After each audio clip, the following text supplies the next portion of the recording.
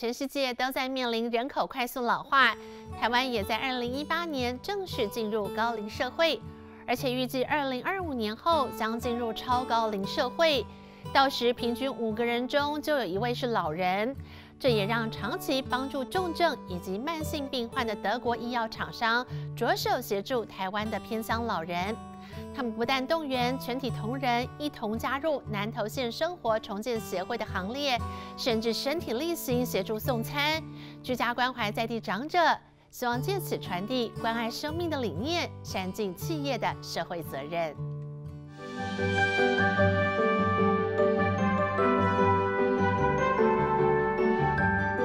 即使是坐着轮椅，奶奶仍开心的手舞足蹈。每到岁末年终，南投国信乡总是热闹非凡，将近两百位长者一同围炉吃团圆饭。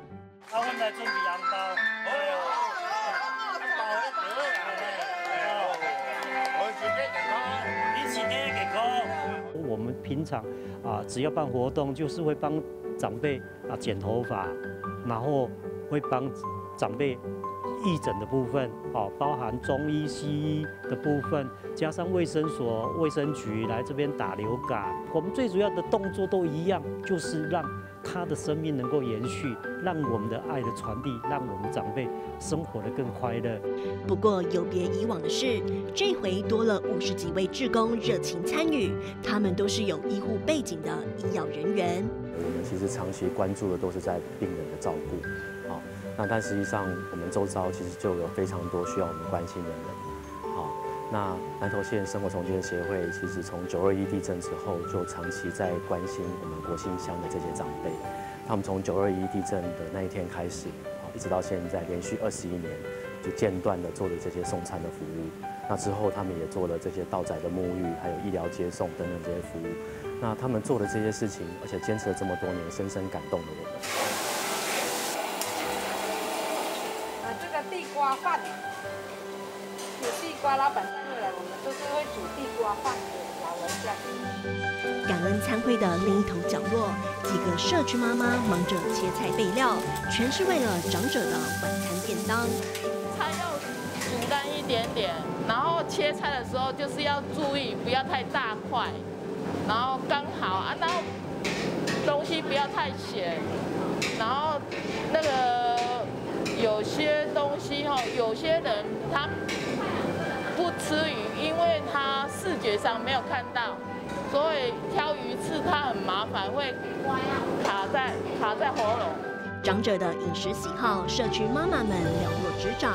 尽管备餐数量多达两百个，但每个老人家都有克制化的专属便当。更重要的是，里头的食材都是善心人士的爱心捐赠。像那个白米，有时候去台北寨啦、新竹寨啦、啊高雄寨啦，我们台湾的庙宇是最多，但是通常他们啊普渡完、拜拜完之后，就会提供给我们，我们只是顺手去载而已。有载当然就是有东西，啊你不在当然就是要要人家来送过来，那事实上很困很困难。二十一年来，邱清喜跑遍全台载物资。天天为筹募经费奔走，即使罹患炎症也从不停歇。谢医师说要排住院三天，我说我只能给你一天。我下午三点报到，明天早上第一刀手术，手术完之后恢复之后，下午三点我就回来了。对，啊谢医师说，啊为什么那么赶？我说我不能影响到我生活的周期呀。对我每天要买菜，我就当然要回来买菜，不然老人家怎么吃饭？加班。哦，李书长。你好。挂的外汇给你了。挂的给你哦。我看嘛便宜的。是啊，的吗？仿佛把便当当做快递，邱庆喜每天都要长者签收才会安心。但您绝对难以想象，原本的他只是一名机车行老板。九二一地震过后，让他的人生有了重大的转变。大家都受灾户，道路都不会通，然后还要复苏，这个短时间根本没办法去复原你原本的工作。所以说，当下闲着也没事做，就我们在福威国小煮大锅饭、大锅菜，就开始帮这些长辈送便当。是因为九二一的关系啊，持续送了送久了。刚才我讲了，就是一个一个感情，就是一个家人，变成是一个家人，怎么分得掉？分不掉啦。爱情灯裤啦，灯裤嗯不方便，安尼开开开开落。但是今仔天气较冷呢，你卡冷冷呢我，去买啦，买买啦，我去。你若顶元宵会买冷叽叽。膝关节退化的林文龙，双脚变形，行动相当不便，孤苦无依的独居在租来的房子里。过年过十天啊，啊，他很早起来，他都做到他有空闲的歪时候歪起的，酸痛。呃，六岁都无老爸啊，十五岁都无老母啊，啊，就生我一个尔，呃生我一个尔，啊，无厝无啥，财产也无重。呃，这个就是那个塑胶那个都都久了有没有啊？那都会低下来呀、啊。他的穿的衣服就带大的斗笠呀、因为厕所和厨房都在后头，林文龙得拄着拐杖，忍痛的绕一大圈。职工们担心天色昏暗，林文龙一个不小心就会四脚朝天，所以特别帮他装了一盏自动感应灯。哦哇，啊，你遐熬，哎哎，啊，这拢可以看好啊，还有。啊，这会这切的。没没，迄迄免切，迄迄迄笑着，那暗晚暝伊就倒啊，安尼有笑着人，暗落倒的哦。爱有笑，爱有照着人才。这这热水牙孔就对了。嘿啦嘿啦嘿干命的啦。开心之情溢于言表，一个暖心的小举动就让长者相当窝心。好，拜拜。拜拜，再见。即使是穷乡僻壤、山路崎岖难行，社区妈妈们仍旧不畏风雨，骑车送餐，三百六十五天从不间断。因为山路比较危险，所以说啊、送餐这个过程当中，我们的啊、社工妈妈怀了孕，又送便当给阿嬷吃，结果就摔下边坡，然后脚筋断掉，啊断掉也没办法马上开刀啊来接回去，等到小朋友出生之后，再找时间去把金再接回来。即使社区妈妈们兵分多路，但一个人还是得送四十个便当，来回超过六十公里，得花上三个多小时。从第一台车新车送送便当到二十一年了，已经换了六台机车了，所以说你看那损耗率真的很严重。机车的保养都是我在做保养，我们大概两个月一定要换一条轮胎。南投国姓乡的老年人口占总人口的两成以上。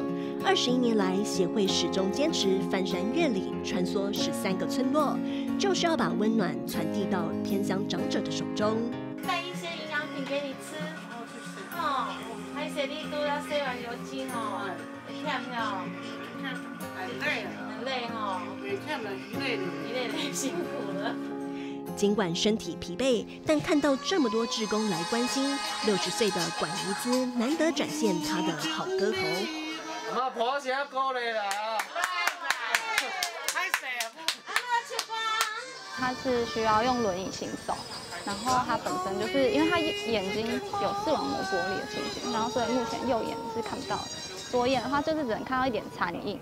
然后爷爷的话，他是因为压神经压迫关系，然后现在就是行动上会比较不方便，然后他的排尿的话，也就是没办法自行的排尿，现在都是接着尿管。啊，这家己起的吗？别怀疑，他们一家三口就是住在林文华搭建的矮房中。看起来不但结构危险，木板上更带有铁钉，而且他们的住家环境极为脏乱，堆了很多杂物，就连室内也昏暗不已。这儿子目前的工作也不稳定，就是立靠打零工的方式来维持家里。然后奶奶就只有一个生长的的那个补助可以领，然后他一个月又要换很多，就是要买很多尿尿布的钱。然后其实他们家就是经济其实很拮据，也很困难，就是其实每个月都是入不敷出。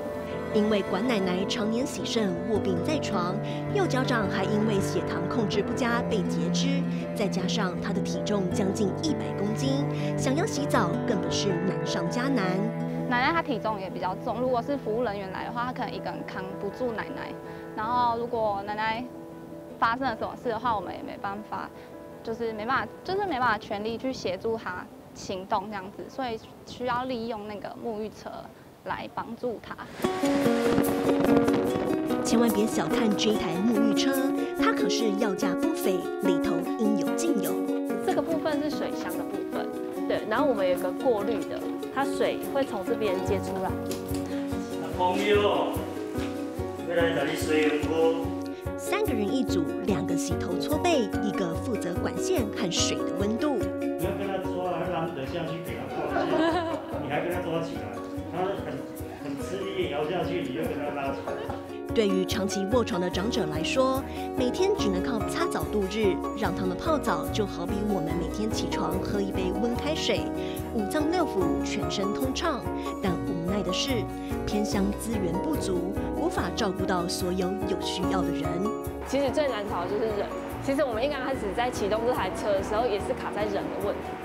对，我们一直没有办法找到适合又愿意做这个洗澡服务的人进来。所以有一阵子，其实是我们社工也会下去帮忙协助。我想，华人社会老人家也多多少少会比较希望能够在家终老，好，这个跟西方社会是比较不一样。那在家终老，他需要的就是必须要有比较规律的访视跟陪伴这件事情。我我希望社会大众啊，企业能够也一起来响应。施比受更有福，唯有用行动相挺，才能让这股关怀社会的暖流照亮所有背光的角落，把关爱生命的动力传递下去。都看到这里了，想必一定很喜欢我们的影片吧？大家好，我是凯纯，请帮我们按赞、订阅加开启小铃铛，就可以看到更多的影片喽。